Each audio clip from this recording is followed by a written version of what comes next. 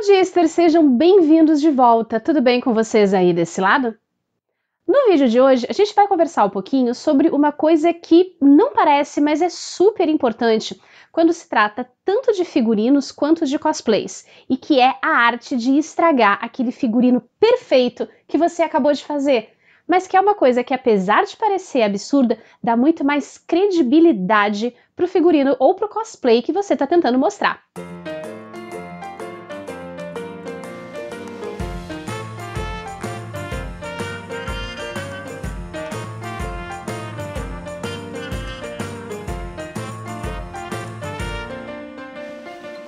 Pode parecer realmente muito absurdo que depois de você ter um trabalho imenso para criar aquele figurino perfeito, e eu nem estou falando só de figurino de época especificamente, mas de figurinos e cosplays de uma forma geral.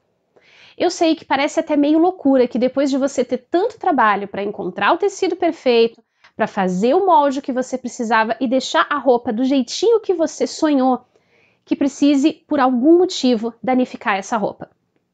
Existem várias razões pelas quais um figurino ou um cosplay precisariam ser danificados. E uma delas é dar credibilidade para a peça em relação à experiência do personagem que está sendo apresentado. Vamos pensar, por exemplo, um cenário pós-apocalíptico tipo Mad Max. Você não conseguiria imaginar alguém em Mad Max com roupas branquinhas, perfeitinhas, limpinhas e com cores super vistosas. O que a gente espera ver num cenário desse são roupas danificadas, coisas escurecidas, oxidadas e até mesmo com remendos, com buracos, botões faltando, costuras aparentemente desgastadas. Não tendo isso, parece que a roupa não encaixa com o cenário ou não encaixa com o personagem. E a mesma coisa acontece se você trouxer isso para filmes de fantasia, por exemplo. Eu vou citar um exemplo que eu amo de paixão, que é Piratas do Caribe. As roupas dos piratas a bordo dos navios, elas não são imaculadamente brancas e bem conservadinhas, mas elas também não estão completamente rasgadas e eles não estão em farrapos.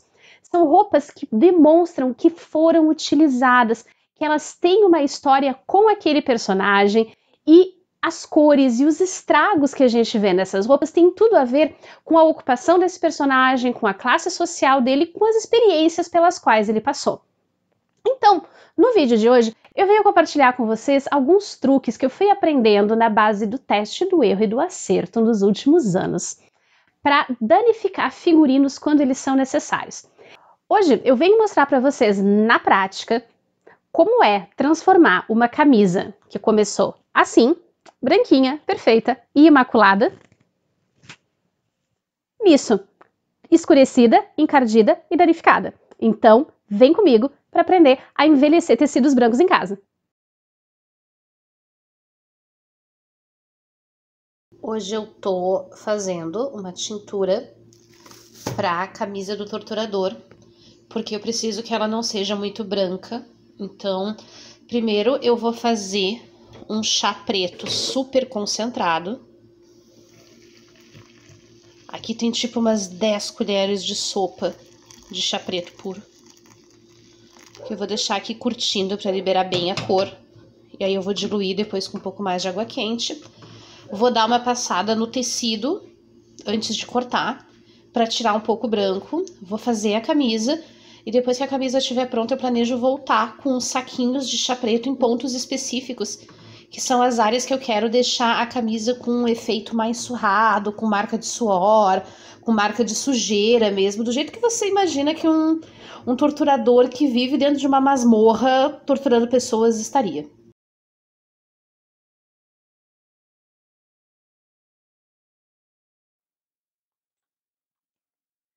Depois de preparar o extrato de chá preto, como eu gosto de chamar, diluo tudo com água quente em uma bacia bem grande. É importante que a bacia seja grande para que você consiga espalhar bem o tecido.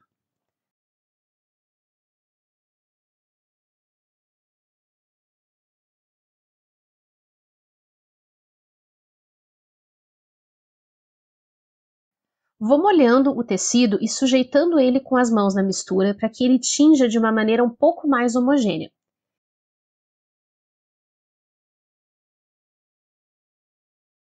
Para evitar que o tecido suba, o que acontece naturalmente e acaba causando áreas muito mais claras do que as outras, você pode usar algum peso em cima do tecido. Eu estou usando pratos de vidro para isso. Ele ficou mais ou menos uma hora de molho com os pesos e ele ficou assim. Não ficou totalmente parelho o tingimento, mas era isso que eu queria, só que os pesos diminuíram as áreas que não pegaram pigmento. Ele tem umas manchas, que eu acho que vocês vão conseguir ver aí na tela, mas para o efeito que eu quero isso é legal. É, ele ainda tá um pouco escuro. A hora que ele secar, ele abre mais ou menos uns dois tons ainda, então ele vai ficar um pouco mais claro. Agora é só esperar ele secar, vou passar e cortar a camisa. Não dá pra ver assim super certinho, né? Mas a definição não tá ajudando, mas dá pra ter uma noção de como ele ficou. Ele ficou um pouquinho manchado ainda, eu achei bem legal. Essas áreas um pouco mais claras, porque tecido nunca fica encardido na, de uma forma parelha, né?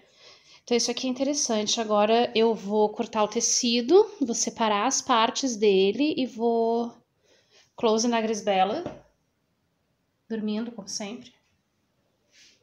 Então agora eu vou cortar o tecido e vou separar ele em duas partes para começar a cortar a camisa.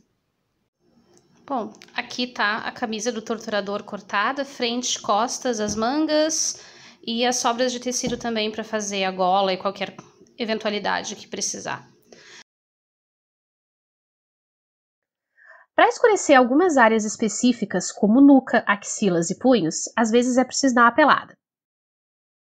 Aqui eu estou usando a borra de café que sobrou da manhã para conseguir um tom de marrom mais fechado.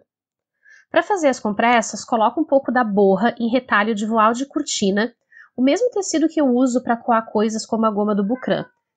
Eu gosto de usar aqueles fechos de fechar saquinho de pão, mas você pode usar o que tiver por aí, até um prendedor de roupa mesmo. Eu faço isso com a borra de café e eu faço isso com a sobra do extrato de chá preto, com as folhas que ficaram umedecidas depois de coar. Ah, eu também precisei tingir o cordão que vai ser usado nos punhos e na abertura do peito, porque eu esqueci de tingir junto com o tecido. No caso, é preciso usar barbante 100% algodão e mergulhar aos pouquinhos na mistura, do mesmo jeito que nós fizemos com o tecido. Aqui, como eu precisava de um tom um pouco mais escuro, misturei na, coloquei na mistura de café mesmo. Para escurecer, eu comecei pelos punhos. Eu gosto de colocar alguma coisa que separe a parte de baixo do tecido para evitar manchar mais um lado do que o outro. Com a trouxinha levemente embebida na tintura, eu venho carimbando o tecido, primeiro delicadamente e depois com um pouco mais de força. Aqui eu alternei o uso do chá preto e do café para conseguir variações de tonalidade e não ficar tudo igual dos dois lados. Esfregar a trouxinha ou a sua mão suja, ou até deixar cair pingos de tintura no tecido também são uma boa ideia se você quer dar um visual mais sujo para essa peça no final.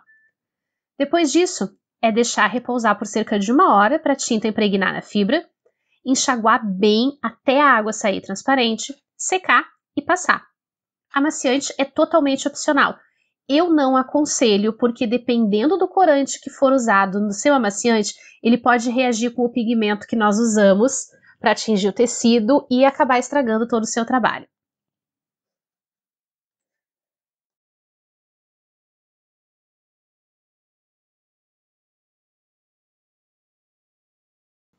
O motivo de essa camisa em especial precisar ser envelhecida é por causa da ideia que eu quero transmitir com o personagem.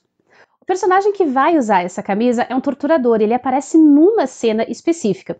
E a imagem que eu quero passar desse torturador é de alguém que está preso numa masmorra abafada, com pouca ventilação quente e que tanto a pessoa quanto as suas roupas definitivamente já viram dias melhores nessa vida. Então, para você que me assistiu até aqui, muito obrigada. Deixe o seu like, aproveite para se inscrever aqui no canal, comenta aqui embaixo que outros tutoriais você gostaria de ver por aqui.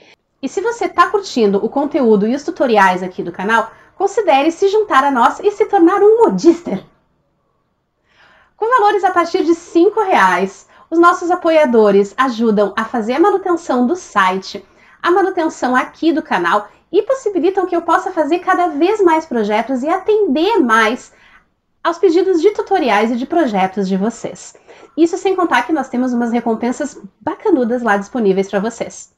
Então, já que você veio até aqui, aproveite também para conhecer outros conteúdos do canal e não deixe de se inscrever e se juntar à nossa comunidade.